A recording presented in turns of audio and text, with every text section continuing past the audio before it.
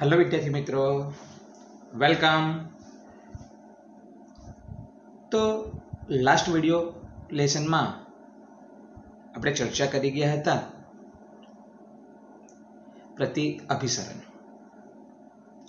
આજે એક નવા ટોપિક ઉપર આપણે જવાના છે અને એ ટોપિક છે અસામાન્ય મોલર જે તમારા ટેક્સ્ટબુકમાં પેજ નંબર ફિફ્ટી સેવન ઉપર બે પોઈન્ટ સાત. અસામાન્ય મોલર દર. ચલો તો સમજીએ ટોપિકને. તો પહેલાં એમાં આપણે સમજીશું વિયોજન. ચલો આપણે આયનીય પદાર્થ લઈએ. આયનીય પદાર્થ એટલે તમને ખબર કે સીએલ એનએસીએલ એમજીસીએલ ટુ એને ટુ એસઓ ફોર ચલો, તો આયનીય પદાર્થને પાણીમાં ઓગાળીએ. તો એનું ધન આયન અને ઋણ આયન. માં વિયોજન થાય. અથવા તેમાંથી ધન આયન અને ઋણાયન છૂટા પડે. જેને કારણે કણોની સંખ્યા વધે. તો આ ઘટનાને કહેવાય વિયોજન. ફરીથી આયની પદાર્થ લઈએ, એને પાણીમાં ઓગાળીએ. તો એમાંથી ધન આયનો અને ઋણ આયનો છૂટા પડે. જેને કારણે દ્રાવણમાં કણોની સંખ્યા વધે. આ ઘટનાને વિયોજન કહેવામાં આવે છે. ચલો આયનીય પદાર્થ તરીકે હું કેસી લઉં. તો એક મોલ કેસીએલ લો. એને પાણીમાં ઓગાળો. તો એક મોલ કે પ્લસ અને એક મોલ સીએલ માઇનસ. એટલે કે દ્રાવણમાં કુલ કેટલા મોલ છૂટા પડશે? બે મોલ. આપણે નાખેલા કેટલા મોલ હતા? એક મોલ. દ્રાવણમાં જ્યારે નાખ્યો ત્યારે એક મોલ હતો. પણ અંદર જઈને કેટલા થઈ ગયા? બે. એટલે અહીંયા કણોની સંખ્યામાં શું થયું? વધારો થયો. એટલે આ ઘટના વિયોજન કહેવાય. ચલો, તો પહેલાં આપણે સંખ્યાત્મક ગુણધર્મને આધારે સમજીએ. સંખ્યાત્મક ગુણધર્મ તરીકે મેં ઉત્કલન બિંદુમાં વધારો લેવાનો છું.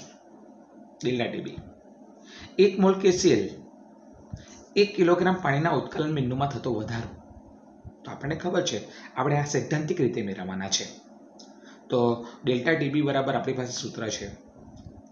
કેબી ઇન્ટુ એમ મોલાલિટી જે આપણે થિયરીમાં મેળવી જોઈ ગયા હતા. હવે આપણને બધાને ખબર કે પાણી માટે કેબી મોલર ઉનાઈના અચરાંક દાખલામાં જોઈ ગયેલા, એનું મૂલ્ય છે zero point five two kelvin kilogram into mole inverse હવે મોલાલિટી મોલાલિટી એટલે અત્યારે જોઈ ગયા, સૂત્ર છે મોલ છેદમાં દ્રાવકનું વજન કિલોગ્રામમાં. તો આપણા મોલ એક છે અને દ્રાવક એટલે પાણીનું વજન એક કિલોગ્રામ છે, એટલે વન ભાગ્યા વન એટલે ડેલ્ટા ટીબીનું જે અહીંયા મૂલ્ય આવશે zero point five two kelvin જે આપણે ગણતરી દ્વારા સૈદ્ધાંતિક રીતે મેળવ્યું છે. પણ આપણને બધાને ખબર છે કે ડેલ્ટા ટીબી એ સંખ્યાત્મક ગુણધર્મ છે એટલે સંખ્યાને પર આધાર રાખે છે. એટલે ધારો કે આપણે પ્રયોગ કરીને જો મૂલ્ય મેળવીશું ને, તો તમે જોશો અહીંયા કેટલા કણ છૂટા પડે છે? બે મોલ. એટલે આ જે મૂલ્ય હશે ઝીરો પોઈન્ટ ફાઈવ ટુ, એ બે વડે ગુણાશે. એટલે ડેલ્ટા ટીબી બરાબર બે ગુણ્યા zero point five two kelvin. એટલે જ્યારે આંતરાણવી આકર્ષણને ધ્યાનમાં ન લેવામાં આવે, તો ડેલ્ટા ટીબી બરાબર બે ગુણ્યા zero point five two kelvin. એટલે આ મૂલ્ય આવશે ડેલ્ટા ટીબી બરાબર one point zero four kelvin. એટલે આ પ્રયોગ કરીને આવશે તમારું મૂલ્ય. ને આ જે આપણે આવ્યું તે ગણતરી, સૈદ્ધાંતિક રીતે મૂલ્ય છે. તો તમે જોશો, જ્યારે વિયોજન થાય ને, તો આ ગણતરી કરેલું સૈદ્ધાંતિક મૂલ્ય ને આ પ્રાયોગિક અથવા તો અવલોકિત કરેલું મૂલ્ય. તમે જોશો જુડા આવે છે. એટલે આ સંખ્યાત્મક ગુણધર્મ ઉત્કલન બિંદુમાં થતા વધારાના મૂલ્ય કેવા આવે છે? જુડા આવે છે. જ્યારે વિયોજન થાય ત્યારે. ચલો હવે મોલરના સંદર્ભમાં જોઈએ.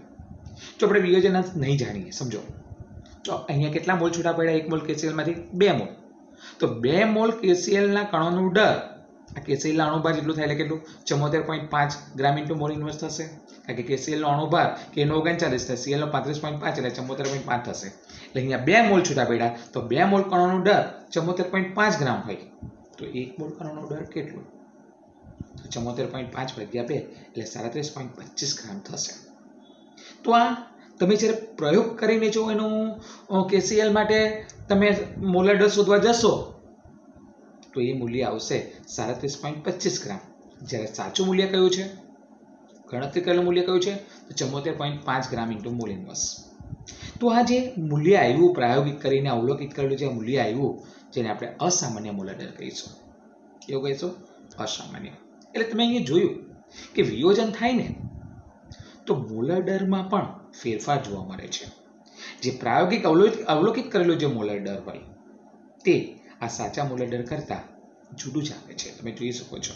એટલે આપણે જોયું કે પીએસસીએલમાં જ્યારે વિયોજન થાય, તો આ સંખ્યાત્મક ગુણધર્મ ડેલ્ટા ટીબી અથવા સંખ્યાત્મક ગુણધર્મ તરીકે ડેલ્ટા ટીએફ લઈએ, તો એનું મૂલ્ય જે સામાન્ય મૂલ્ય હોય ને, એના કરતાં કેવું આવે? બમણું આવે છે. અને ડેલ્ટા ટીબી અથવા ડેલ્ટા ટીએફના આધારે જ્યારે આપણે મોલાડર ગણીએ, તો જે સાચું મોલાડોર હોય ને, અપેક્ષિત મોલાડોર હોય ને, તમે જોઈ શકો છો કે એના કરતાં એનું મોલાડર કેવું આવે? અડધું આવે. એટલે તમે અહીંયા જોઈ શકો છો, સંખ્યાત્મક ગુણધર્મ બમણો થાય છે સામાન્ય મૂલ્યથી. જ્યારે મોલાડર સામાન્ય મૂલ્યથી અડધું થાય છે. એટલે આના પરથી એક તારણ કાઢી શકો તમે કે સંખ્યાત્મક ગુણધર્મ એ મોલર દળના વ્યસ્ત પ્રમાણમાં છે. આ તમે લખી ધ્યાનમાં રાખી શકો છો. ઓકે એટલે ક્લિયર થઈ ગયું વિયોજનમાં શું થાય છે? ફરીથી હું એકવાર રિપીટ કરી લઉં છું. આયનીય પદાર્થ લઈએ, એને પાણીમાં ઓગાળીએ, તેનું ધન આયન અને ઋણ આયન છૂટા પડે. જેને કારણે કણોની સંખ્યા વધે, તો આ ઘટનાને વિયોજન કહેવામાં આવે છે. એક મોલ કે લીધો. એને પાણીમાં ઓગાળ્યો તો એક મોલ કે પ્લસ ને એક મોલ સીએલ માઇનસ સાઇન છૂટા પડ્યા. ઓગાડલે તો એક મોલ અને અંદર છૂટા પડ્યા બે મોલ. એટલે કણોની સંખ્યામાં વધારો થયો. એટલે આ ઘટના વિયોજન કહેવાય. ચલો, હવે વિયોજન થયું એટલે આપણે સંખ્યાત્મક ગુણધર્મ લઈએ. ઉત્કલન બિંદુમાં થતો વધારો. તો એક મોલ કેસીએલ એક કિલોગ્રામ પાણીના ઉત્કલન બિંદુમાં થતો વધારો ગણતરી કરીને જોઈએ પહેલાં. તો ડેલ્ટા કેબી બરાબર સૂત્ર છે KB into M delta KB zero point five molality એટલે મોલ, એક મોલ છે ને દ્રાવકનું વજન એક કિલોગ્રામ છે. એટલે ગણતરીને સૈદ્ધાંતિક કરેલું મૂલ્ય આવશે zero point five two kelvin જ્યારે આપણને ખબર છે, અહીંયા તો બે મોલ છૂટા પડેલા છે. એટલે આ જે મૂલ્ય આવ્યું તેને બે વડે ગુણીએ તો one point zero four kelvin થશે. એટલે આ પ્રાયોગિક મૂલ્ય, તમે ડાયરેક્ટ પ્રયોગ કરીને મૂલ્ય આપશો તો આટલું થશે. જે સૈદ્ધાંતિક મૂલ્ય આટલું આવશે. એટલે તમે જોશો, જ્યારે પણ વિયોજન થાય, તો કોઈ પણ સંખ્યાત્મક ગુણધર્મ લો. તેનું પ્રાયોગિક કરેલું મૂલ્ય સૈદ્ધાંતિક મૂલ્યથી કેવું આવશે? જુદું આવશે. અહીંયા જોઈ શકો છો. એ જ રીતે આપણે મોલર દર ગણીએ. તો અહીંયા બે કણ છૂટા પડ્યા છે. તો બે મોલ કેસીએલ માટે કણનો દર એના અણુભાર એટલે ચુમ્મોતેર પોઈન્ટ પાંચ ગ્રામ જેટલું થશે. જ્યારે એક મોલ કણનો દર કેટલું? તો એ આવશે એના કરતાં અડધું એટલે સાડત્રીસ પોઈન્ટ પચીસ. જે પ્રાયોગિક મૂલ્ય આવશે કારણ કે બે મોલ છૂટા પડેલા છે. બરાબર? એટલે આ પ્રાયોગિક અવલોકિત કરેલું મૂલ્ય ને સાચું મૂલ્ય છે ચુમ્મોતેર પોઈન્ટ પાંચ ગ્રામ. એટલે તમે અહીં જોશો કે જ્યારે પણ વિયોજન થાય ત્યારે પ્રાયોગિક મોલર દર એ સાચા મોલર દર કરતાં કેસીએલ માટે અડધું આવશે. એટલે જ્યારે પણ વિયોજન થાય ને, કોઈ પણ સંખ્યાત્મક ગુણધર્મ ડેલ્ટા બી અથવા ડેલ્ટા એફ, એનું મૂલ્ય સામાન્ય જે મૂલ્ય હોય ને, તેના કરતાં વધારે આવશે. એની કેસીએલ માટે બમણું આવે છે. કારણ કે બે આયનો જોડા પડે છે. જ્યારે ડેલ્ટા ટીબી અને ડેલ્ટા ટીફને આધારે જે દર પ્રયોગ પ્રાયોગિક તો એ સાચા મોલર દર કરતાં ઓછું આવશે. અહીંયા અડધું આવ્યું છે. તમે જોઈ શકો છો. કારણ કે બે અહીંયા છૂટા પડેલા છે એટલે. આ થઈ વીડિયો છે. હવે હું વાત કરીશ સુયોજન માટે. અધ્રુવીય દ્રાવ્ય લો એને અધ્રુવીય દ્રાવકમાં ઓગાળો તો એના બે અથવા બે કરતાં વધારે અણુ સુયોજિત થાય. જેને કારણે કણોની સંખ્યામાં ઘટાડો થાય. તો આ ઘટનાને કહેવાય સુયોજન. ફરીથી, બે અથવા બે કરતાં વધારે અણુ લઈએ, આ અધ્રુવીય દ્રાવ્ય લઈએ, અને અધ્રુવીય દ્રાવકમાં ઓગાળો તેના બે કે બે કરતાં વધારે ઘટકો એકબીજા સાથે સુયોજિત થાય. જેને કારણે કણોની સંખ્યા ઘટે, તો આ ઘટનાને સુયોજન કહેવાય છે. એટલે તમે જોશો કે સુયોજિતમાં કણોની સંખ્યા ઘટે છે. આપણે જોયું કે વિયોજનમાં કણોની સંખ્યા વધે ત્યારે અહીંયા ઘટે છે. ચલો ઉદાહરણ. ઇથેનોઇક એસિડને બેન્ઝિન જેવા દ્રાવકમાં ઓગાળ્યો તો એના બે અણુ ઇથેનોઇક એસિડના, તમે અહીંયા જોઈ શકો છો. આ હાઇડ્રોજન બંધથી જોડાય. અને દ્વિ અણુ તરીકે વર્તે છે, જો. એટલે અહીંયા દ્વિતીયકરણ થયું કહેવાય, ડાયમરાઇઝેશન થયું કહેવાય, જો. કેટલા અણુ? બે અણુ. બેન્ઝિન જેવા દ્રાવકમાં જોડાઈ ગયા અને કેટલા બની ગયા? એક જ બની ગયા જો એટલે અહીંયા કણોની સંખ્યા બે હતી, તે જગ્યાએ એક જ થઈ ગઈ, એટલે અડધી થઈ ગઈ. ધારો કે બેના એક થાય, તો એકના કેટલા થાય? તો અડધો થાય. એટલે અહીંયા બતાવેલું છે મેં. અને આવું ફક્ત બેન્ઝિન જેવા નીચા પેરાવેગ્યુટેક દ્રાવકમાં જ જોવા મળે છે. એટલે કે નીચા ડાયલેક્ટ્રિક અચળાંક ધરાવતા દ્રાવકમાં જ આવું જોવા મળે છે. અહીંયા દ્વિતીયકરણ થયું. કણોની સંખ્યા ઘટી ગઈ. બેના એક થયા તો એકનો અડધો થાય એટલે કણોની સંખ્યા ઘટી. તો આ ઘટના સુયોજન કહેવાય. ચલો, અહીંયા તમે જોઈ શકો છો. જે બે હતા તેના એક થઈ ગયા. એકનો અડધો થઈ ગયો. એટલે અહીંયા આપણે કોઈ સંખ્યાત્મક ગુણધર્મ લઈએ. ધારો કે ડેલ્ટા ટીબી કે ડેલ્ટા ટીએફ લઈએ. તો અહીંયા તમે જોશો કે સંખ્યા વધી ગયેલી. બે થઈ ગયેલી. એટલે પેલો સંખ્યાત્મક ગુણધર્મ બમણું આવેલું. તો અહીંયા આપણે ડેલ્ટા ટીબી અથવા ડેલ્ટા એફનું મૂલ્ય જો લઈએ બેન્ઝ બેન્ઝિન જેવા દ્રાવકમાં ઇથેનોઇક એસિડ માટે, તો એનું મૂલ્ય સામાન્ય મૂલ્યથી કેવું આવશે? અડધું આવશે. કારણ કે કણોની સંખ્યા અડધી થઈ ગયેલી છે. અને એ જ રીતે આ ડેલ્ટા ટીબી અને અથવા ડેલ્ટા ટીએફના મૂલ્યને આધારે મોલર ડજો ગણીએ. તો એ પ્રાયોગિક મોલર ડર જે આવશે ને તે સામાન્ય મોલર દર કરતા, સાચા મોલર ડર કરતા બમણું આવશે. ચલો કઈ રીતે સમજાવો? તો તમે જોશો અહીંયા બે મોલ ઇથેનોઇક એસિડના, એક થઈ ગયા. તો એકના કેટલા થાય? અડધો. તો આપણને ખબર કે એક મોલ ઇથેનોઇક એસિડનું વજન એના અણુભાર બરાબર થાય. ચલો, એક મોલ ઇથેનોઇક એસિડ લો તેનું વજન એના અણુભાર બરાબર થાય. પણ અહીંયા છેલ્લા આવ્યા કેટલા? અડધો મોલ. તો આપણે જો અહીંયા ગણતરી કરીએ કે અડધા મોલ ઇથેનોઇક એસિડનું વજન સાત ગ્રામ એના અણુભાર જેટલું હોય. તો એકનું કેટલું? એટલે સાઠના છેદમાં વન હાફ આવશે. એટલે ડુ એકસો ને વીસ એટલે પ્રાયોગિક મૂલ્ય બમણું થશે. એટલે તમે જોશો, અહીંયા જે પ્રાયોગિક અવલોકિત કરેલું જે મોલેડર આવ્યું ત્યાં સાચા મોલેડરની સરખામણીમાં કેવું આવશે? બમણું આવશે. એટલે તમે અહીંયા જોયું, સુયોજન થયું ને, તો ડેલ્ટા ટીબી અથવા ડેલ્ટા ટીએફનું મૂલ્ય સામાન્ય મૂલ્ય સામાન્ય જે મૂલ્ય હોય એના કરતાં ઓછું આવે. અને પ્રાયોગિક મોલેડરનું મૂલ્ય પણ જે સાચું મોલેડર હોય ને એના કરતાં વધારે આવે. બરાબર? ફરીથી એકવાર સમજાવી દઉં. સુયોજન. અધ્રુવીય દ્રાવ્ય લઈએ અને અધ્રુવીય દ્રાવકમાં ઓગાળો. તેના બે કે બે કરતાં વધારે અણુ સુયોજિત થાય. આ ઘટનાને સુયોજન એટલે જોડાઈ જાય. એટલે કણોની સંખ્યા ઘટે તો આ ઘટનાને સુયોજન કહેવાય. ઉદાહરણ આપી દઈએ. Ethanoic acid. ને બેન્ઝિન જેવા દ્રાવકમાં ઓગાળો, તો એના બે બે અણુઓ જોડાઈ જાય હાઇડ્રોજન બંધથી. અને ત્રિઅણુ તરીકે વર્તે, તમે જોઈ શકો છો અહીંયા. અને આ ક્રિયા દ્વિતીયકરણ કહેવાય, જેને કારણે તમે જોશો અહીંયા કણોની સંખ્યા ઘટી ગઈ. બે હતા, તેના એક થઈ ગયા. તો બેના એક થાય, તો એકના કેટલા થાય? અડધું. અને આવું ફક્ત બેન્ઝિન જેવા નીચા પેરાવેડ્યુટક ધરાવતા, એટલે નીચે ડાયલેક્ટ્રિક અચરણ ધરાવતા દ્રાવકમાં જ જોવા મળે. અને આ ઘટના સુયોજન કહેવાય. તમે અહીંયા જોશો કે અહીંયા ધારો કે આપણે ડેલ્ટા ટીબી અથવા ડેલ્ટા ટીએફ જેવા સંખ્યાત્મક ગુણધર્મ લઈએ, તો એનું જે મૂલ્ય આવશે ને, તે સામાન્ય મૂલ્યથી અડધું આવશે. એટલે કણોની સંખ્યા ઘટી ગઈ છે. એટલે સામાન્ય મૂલ્યથી કેવું આવશે? અડધું આવશે. અહીંયા તમે જોયું કે અહીંયા વધેલી હતી, એટલે બે થયેલા હતા, એટલે બમણો આવતો હતો. અહીંયા જોઈ શકો છો. જ્યારે અહીંયા કેવું આવશે? અડધું આવશે. જ્યારે મોલર ડરની વાત કરીએ, તો મોલર દર આપણને ખબર છે કે અહીંયા કેટલા કણ જોવા મળ્યા છેલ્લા વન હાફ તો વન હાફ મોલ ઇથેનોઇક એસિડનું દર જો આપણે લઈએ ને, તો એના અણુભાર એટલે સાત ગ્રામ જેટલું થશે. તો એક મોલનું કેટલું થશે? એના કરતાં બમણું, એટલે એકસો વીસ થશે. એટલે અહીંયા ડેલ્ટા ટીબી કે ડેલ્ટા ટીએફને આધારે જો પ્રાયો એનું મોલર દરમાં આપીએ, તો એ પ્રાયોગિક મોલર ડર સાચા મોલર ડરની સરખામણીમાં બમણું આવશે. એટલે તમે અહીંયા જુઓ, વિયોજન થાય કે સુયોજન થાય. તો જે મોલડર સાચું આવવું જોઈએ, પ્રાયોગિક રીતે શોધેલું મોલડર જે સાચું આવવું જોઈએ તે સાચું નહીં અહીં આવે. અહીંયા તમે જોશો, અડધું આવ્યું ને અહીંયા તમે જોશો, બમણું આવ્યું એટલે જે સાચું મોલડર આવવું જોઈએ, વિયોજન થાય, તો દ્રાવ્યનું મોલડર જે સાચું આવવું જોઈએ પ્રાયોગિક મોલર દર તે સાચું નહીં આવે. અને સુયોજન થાય પણ, તો પણ દ્રાવ્યનું જે મોલડર સાચું આવવું જોઈએ, તે પણ નહીં આવે. અને જે મોલર દર આવે તેને નામ આપવામાં આવે અસામાન્ય મોલડર. ભાગ ટોપિક આપણો હતો, અસામાન્ય મોલડર. એટલે અસામાન્ય મોલર દર ક્યારે જોવા મળે? ખ્યાલ આવી ગયો વિદ્યાર્થી મિત્રો? વિયોજન થાય કણોની સંખ્યા વધે.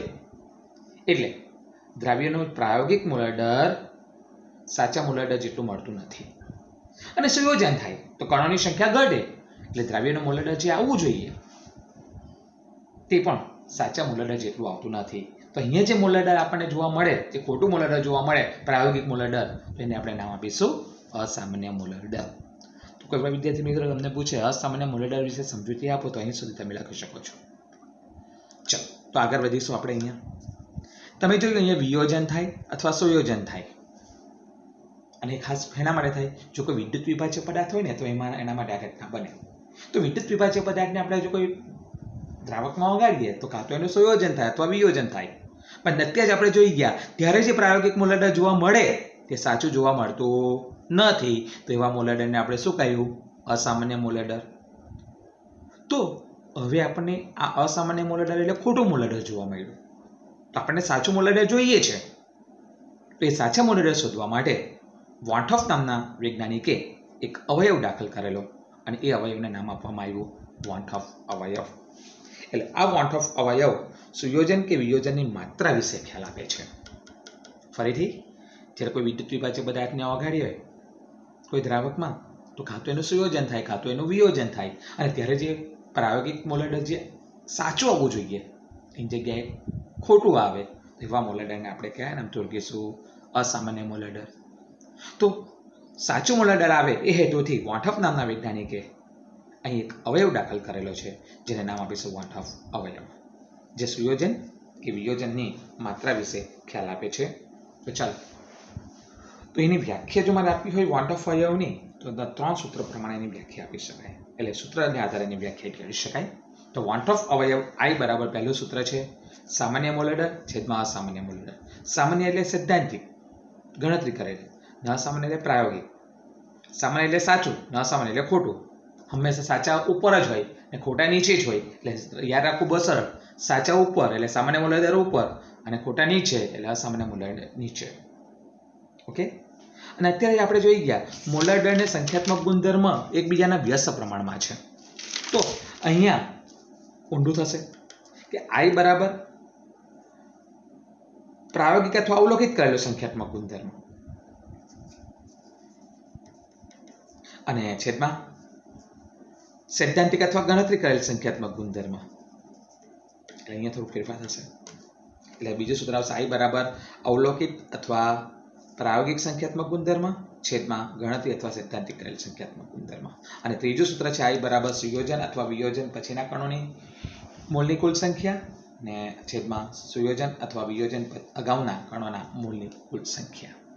તો અહીંયા ઓફ અવયવ આઈ માટે ત્રણ સૂત્ર તમારે ધ્યાનમાં રાખવાના છે. પહેલું આઈ બરાબર સામાન્ય મોલેડર છેદમાં અસામાન્ય મોલેડર. એટલે કે સૈદ્ધાંતિક મોલેડર છેદમાં પ્રાયોગિક મોલેડર. બીજું સૂત્ર છે આઈ બરાબર અવલોકિત અથવા પ્રાયોગિક કરેલ સંખ્યાત્મક ગુણધર્મ છેદમાં ગણતરી અથવા સૈદ્ધાંતિક કરેલ સંખ્યાત્મક ગુણધર્મ. અને ત્રીજું સૂત્ર છે આઈ બરાબર સુયોજન અથવા વિયોજન પછીના કણોના મૂળની કુલ સંખ્યા છેદમાં સુયોજન અથવા વિયોજન અગાઉના કણોના કલની મૂળ સંખ્યા. આ ત્રણ સૂત્ર તમારે ધ્યાનમાં રાખવાના છે. તો હવે આપણે જોઈશું કે કેસીએલ, જેને પાણીમાં ઓગાળો એટલે વિયોજન થાય, તો એના માટે આઈનું મૂલ્ય શું આવે? તો આપણી પાસે ત્રણ સૂત્ર છે, તેના આધારે આઈ જોઈ લઈએ. ચલો ત્રણે ત્રણ સૂત્રો પરથી આઈ કેટલો આવશે? તો આઈ બરાબર પહેલું સૂત્ર સામાન્ય મોલડર સામાન્ય એટલે સાચો. અને સાચો મોલડર આપણે ખબર ચમોતેર પોઈન્ટ પાંચ. મૂકી દઈએ. ન, સામાન્ય એટલે પેલો પ્રાયોગિક. જે ખોટો આવેલો તે કેટલો? સાડત્રીસ પોઈન્ટ પચીસ. મૂકી દઈએ. એટલે ભાગાકાર કરશું તો આઈ બરાબર આવશે બે. આ પહેલા સૂત્રને આધારે એટલે કેસીએલ માટે આઈ કેટલો આવે? બે આવે. વિયોજન માટે તમે જે અહીંયા જોઈ શકો છો. આ બીજું સૂત્ર. અવલોકિત કરેલ સંખ્યાત્મક ગુણધર્મ. આપણે જોઈએ કે અવલોકિત કરેલ સંખ્યાત્મક ગુણધર્મ કયો હતો? One point zero four kelvin. ને ગણતરી કરેલ કયો હતો? સૈદ્ધાંતિક. તો zero point five two kelvin જો. એટલે આઈ બરાબર બે. એટલે બીજા સૂત્રના આધારે પણ જોઈ લીધું. ચલો, ત્રીજું જોઈશું. સુયો, વિયોજન પછીના કણોની મૂળની કુલ સંખ્યા. આપણે ખબર છે કે વિયોજન થાય તો કુલ કેટલા મોલ ઉત્પન્ન થાય? બે. એટલે અહીંયા અંશમાં બે આવશે. ને અગાઉના કણોની મૂળ સંખ્યા, વિયોજન અગાઉના. તમે જોશો કે એસીએલનું વિયોજન થાય એ પહેલાં કેટલા મૂળ હતા? એક. એટલે છેદમાં એક આવશે. એટલે આઈ બરાબર બે. એટલે તમે કોઈ પણ સૂત્રનો ઉપયોગ કરો તો કેસીએલ માટે આઈ બરાબર કેટલો આવે? બે આવે. ચલો, આપણે જોયું ઇથેનોઇક એસિડ અને બેન્ઝિન જેવા દ્રાવકમાં જ્યારે સુયોજન થાય છે, તેના માટે આઈ કેવી રીતે શોધી શકાય? તો આઈ બરાબર આપણે સૂત્ર છે સામાન્ય મોલર. સામાન્ય એટલે હાચો. ને હાચો મોલર આવી લો, સાઠ. છેદમાં પ્રાયોગિક. પ્રાયોગિક કેટલો આવેલો? એકસો વીસ. હાચાના છેદમાં ખોટો. તો એ આપણું મૂલ્ય આવે આઈ બરાબર ઝીરો પોઈન્ટ ફાઈવ જોઈ શકો છો અહીં તમે. ચલો, બીજું ત્રીજું સૂત્રનો ઉપયોગ કરીએ. આઈ બરાબર સુયોજન અથવા વિયોજન પછીના કણોની મૂળ સંખ્યા. તો સુયોજન અથવા વિયોજન થયું તો આપણે અત્યારે જોઈ ગયા કે કેટલા હતા પહેલા? સુયોજન કે વિયોજન પછી? તો અડધો, એક મો લઈએ તો અડધા થાય, જો. એટલે અડધો. એ પહેલા કેટલા હતા? એક. એટલે વન હાફ એટલે પોઈન્ટ ફાઈવ તો તમે અહીંયા જોઈ શકો છો, કોઈ પણ સંજોગોમાં વિયોજન થશે ને, તો આઈનું મૂલ્ય હંમેશા એક કરતાં વધારે જ આવશે. એટલે યાદ રાખજો, વિયોજન માટે આઈ ગ્રેટર દેન વન હોય. અને જે સુયોજન થાય ને, તો આઈનું મૂલ્ય હંમેશા એક કરતાં ઓછું જ આવે. એટલે આઈ લેસ દેન વન આવશે. એટલે જ્યારે વિદ્યુત વિભાજ્ય પદાર્થ હોય, એને કોઈ દ્રાવકમાં આવકારીએ તો વિયોજન થાય, તેના માટે વોટ ઓફ અવયવ આઈનું મૂલ્ય ગ્રેટર દેન વન આવશે. અને સુયોજન થાય તેના મૂલ્ય આઈનું મૂલ્ય લેસ વન આવશે પણ સમજી લો કે મારી પાસે વિદ્યુત અવિભાજ્ય પદાર્થ છે. કેવો પદાર્થ છે? વિદ્યુત અવિભાજ્ય પદાર્થ છે. વિદ્યુત અવિભાજ્ય પદાર્થ એટલે તમને બધાને ખબર? યુરિયા, ખાંડ, ગ્લુકોઝ. સમજો એને આપણે પાણીમાં ઓગાડીએ તો એનું સુયોજન કે વિયોજન કશું થતું નથી. ના સુયોજન થાય, ના વિયોજન થાય. એટલે જે અસામાન્ય મૂલ્ય આવશે પ્રાયોગિક તે સામાન્ય મોલેડા જેટલો જ થશે. એટલે બંને મોલેડા કેવા હશે? સરખા જ હશે. એટલે એટલે સાચો જ મોલેડર આવશે. અને એવા સમયે જો આઈનો ઉપયોગ, આઈના સૂત્રનો જો ઉપયોગ કરીએ, સામાન્ય મોલેડર છેદમાં અસામાન્ય. તો બંને હરકા હરકા એટલે આઈ કેટલો આવે? એક. એટલે જ્યારે કે સુયોજન કે વિયોજન ના થાય, ત્યારે હંમેશા વોન્ટ ઓફ આઈ બરાબર એક આવે. ને સુયોજન કે વિયોજન ન થાય ને, તો એ દ્રાવણ આદર્શ દ્રાવણ બની ગયું કહેવાય. એટલે આદર્શ દ્રાવણ માટે હંમેશા આઈ બરાબર કેટલો આવે છે? આવે છે. તો ગયો. વિયોજન થાય તો આઈ ગ્રેટર ધેન વન સુયોજન થાય તો આઈ લેસ ધેન વન અને સુયોજન કે વિયોજન ના થાય, આદર્શ દ્રાવણ બને તો એના માટે આઈ બરાબર કેટલા આવે? એક આવે. ઓકે? ચલો, તો આ બધું આપણે અહીંયા સમજી ગયા. ચલો, હવે આપણે વાત કરવાના છે. વોન્ટ ઓફ અવયવ આઈ જેનો સંખ્યાત્મક ગુણધર્મ માટેના સમીકરણમાં સમાવેશ કરીશું. તો આપણને ખબર છે, આપણી પાસે ચાર સંખ્યાત્મક ગુણધર્મ છે. બાષ્પ દબાણમાં થતો સાપેક્ષ ઘટાડો, ઉત્કલન બિંદુ ઉન્નયન, ઉત્કલન બિંદુમાં થતો વધારો થારબિંદુ અવનયન થારબિંદુમાં થતો ઘટાડો, અભિસરણ દબાણ. ચલો બાષ્પ દબાણમાં થતા સાપેક્ષ ઘટાડા માટે આપણી પાસે સૂત્ર છે. P one zero minus P one છેદમાં પી વન ઝીરો બરાબર દ્રાવ્યના મોલ અંશ. એટલે એન ટુના છેદમાં N one plus N two પણ મન દ્રાવણ હોય. એટલે મન દ્રાવણમાં દ્રાવકના મોલ વધારે હોય, એટલે એને અવગણીએ, એટલે એન ટુના છેદમાં એન વન ઉત્કલન બિંદુ ઉન્નયન માટે સૂત્ર છે ડેલ્ટા ટીબી બરાબર કેબી ઇન્ટુ એમ. થાર બિંદુ અવનયન માટે સૂત્ર છે ડેલ્ટા ટીએફ બરાબર કેએફ ઇન્ટુ એમ મોલાલિટી. અને અભિસરણ દબાણ પાઈ બરાબર સૂત્ર છે N two R T upon V. તમે જોશો આ જેટલા પણ સૂત્ર છે, એ બધા સંખ્યાત્મક ગુણધર્મ, જે દ્રાવ્યના કણોની સંખ્યા પર આધાર રાખે. અને અત્યારે આપણે વાત કરી ગયા.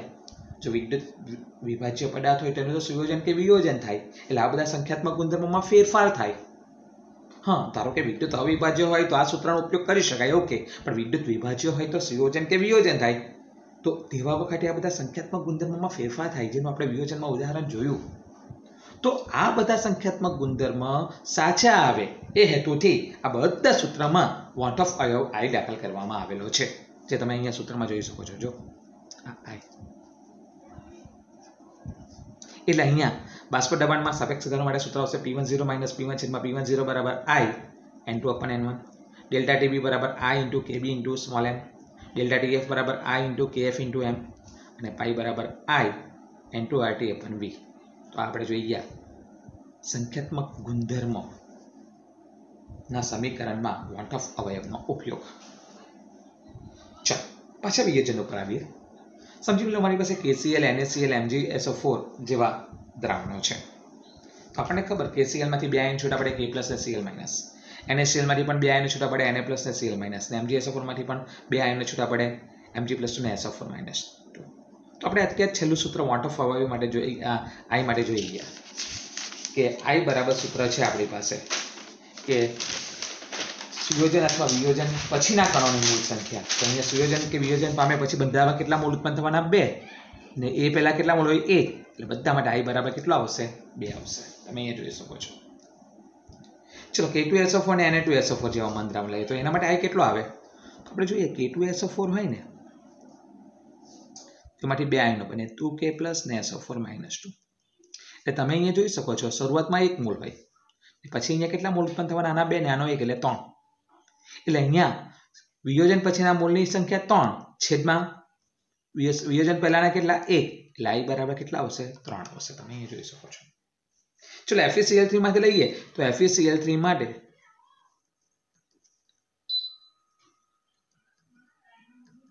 એફઈ પ્લસ થ્રી ને સીએલ માઇનસ એટલે ત્રણ સીએલ માઇનસ એટલે અહીંયા કુલ કેટલા કણ છૂટા પડવાના? આ એક ને આ ત્રણ, એટલે કુલ ચાર.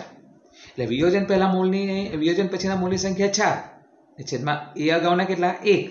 એટલે અહીંયા એફિસિયન્સી માટે આવશે આઈ બરાબર ચાર. ચલો કે ફોર એફિસિયન્સી લઈએ. તો એના માટે આઈ બરાબર કેટલો આવશે? તો કે ફોર એફિસિયન સિક્સ જરાક સમજો બરાબર. આ સંકીર્ણ છે. તો આને જો આપણે આયનીકરણ કરીએ તો આમાંથી ચાર કે પ્લસ છૂટા પડશે. જો કે ફોર છે. ને આખો એક સંકીર્ણ ઋણાયન છૂટો પડશે. એફિસિયન સિક્સ માઇનસ ફોર એટલે કુલ અહીંયા કેટલા કણ છૂટા પડવાના? પાંચ. તમે જોઈ શકો છો. એટલે વિયોજન પછીના કણોની મૂળ સંખ્યા પાંચ. છેદમાં વિયોજન પહેલાના એક. આખો આ એક છે, જો. એટલે કુલ આઈ બરાબર આવશે પાંચ. જે અહીંયા તમે જોઈ શકો છો. તો આ બધું આપણે જોઈ ગયા. વિયોજન માટે આઈના મૂલ્ય. ઓકે? તો બધા તમારે ધ્યાનમાં રાખવાના. આઈ કેવી રીતે મળે? તમને મોટે ભાગે ખ્યાલ આવી ગયો હશે. તો આપણે વાત ચર્ચા કરી ગયા. ઓકે? ચલો, હવે ટેક્સ્ટ બુકમાં એક કોષ્ટક આપેલું છે. જરા એને સમજી લઈએ અત્યારે, કારણ કે એમાંથી એક એમસીક્યુ પૂછાયો હતો બોર્ડની પરીક્ષામાં. તમે જોશો NaCl KCl Mg SO four ને K two S SO four કોષ્ટકમાં આપેલા છે. અને એના માટે સંપૂર્ણ વિયોજન થાય તો એના મૂલ્ય આપણે જોઈ જ ગયા. એનએસીએલમાં બે આઈને છૂટા પડે, એટલે બે. કેસીએલમાં બે છૂટા પડે એમજી એસઓ ફોરમાં બે છૂટા પડે એમાં ત્રણ છૂટા પડે. પણ ધારો કે અપૂર્ણ વિયોજન થાય ને સાંદ્રતા અલગ અલગ હોય. Zero point one molal zero point zero one molal zero point double zero one molal. આપણી પાસે ખબર સૂત્ર છે. કોઈ પણ સૂત્ર લઈએ આપણે. ડેલ્ટા ટીબી બરાબર આઈ કેબી ઇન્ટુ એમ. તો તમે જોશો, ડેલ્ટા ટીબીના છેદમાં આઈ બરાબર કેબી ઇન્ટુ એમ. તો અહીંયા વન અપન આઈ ચલે છે એમ એટલે અહીંયા મોલાલિટી અને વોન્ટ ઓફ ફેક્ટર આઈ એકબીજાના વ્યસ્ત પ્રમાણમાં થવાના કે ને એટલે જેટલી મોલારિટી વધતી જશે, એટલું આઈનું મૂલ્ય ઘટતું જશે. કોષ્ટકમાં જોઈ શકો છો. અત્યારે બોર્ડની પરીક્ષામાં એમસીક્યુમાં પૂછેલો હતો એનએસએલમાં ત્યાં સંદર્ભ ઝીરો પોઈન્ટ વન મોલર આ zero point zero one molar અને આ zero point double zero one molar તો સૌથી વધારે મૂલ્ય આ સાંદ્રતા વધારે, આ એના કરતાં ઓછી ને એના કરતાં ઓછી. એટલે આની જેટલી સાંદ્રતા ઓછી, એટલું મૂલ્ય વધારે આનું જો. એના કરતાં આનું મૂલ્ય ઓછું, એના કરતાં આનું મૂલ્ય ઓછું. બધામાં તમે ચેક કરી શકો છો. એટલે વિદ્યાર્થી મિત્રો, અહીંયા ધ્યાનમાં રાખી શકો કે વોન્ટ ઓફ ફેક્ટર આઈ અને મોલાલિટી એકબીજાના વ્યસ્ત પ્રમાણમાં છે. જેટલી મોલાલિટી વધારે, એટલું આઈનું મૂલ્ય ઓછું. તો આ એમસીક્યુ અત્યારે પૂછાયો હતો. ચલો, વિદ્યાર્થી મિત્રો, તો અહીંયા થિયરિકલ પોર્શન પૂરો થાય છે. આપણે છેલ્લો મુદ્દો જોઈએ ગયા તે પરીક્ષામાં પૂછી શકાય કે સમજાવો અસામાન્ય મોલર અને વોન્ટ ઓફ અવયવ. તો આખી થિયરી તમે ત્રણથી ચાર માર્કમાં પૂછી શકાય. તો એની તૈયારી તમારે કરવાની છે, નોટમાં લખવાની છે. તો અહીંયા થિયરિકલ પોર્શન આખો પૂરો થાય છે. હવે દાખલા બાકી છે અભિસરણ દબાણ પર આધારિત. ને આ સુયોજન ને વિયોજન પર આધારિત. જે આપણે આવતા વીડિયો લેશનમાં જોઈશું. Thank you